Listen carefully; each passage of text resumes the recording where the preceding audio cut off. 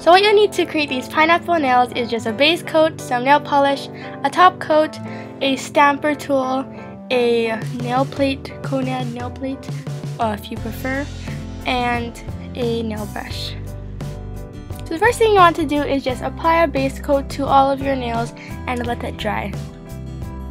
Then after that you just want to apply any yellow or orange regular nail polish of your choice.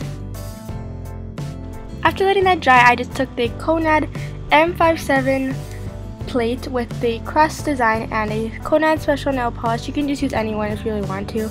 Um, but I chose a brown one and I just put the nail polish onto the plate, stamped it, and stamped it onto my nails. If you want a separate tutorial on how to use it if you are confused, then just let me know in the comments.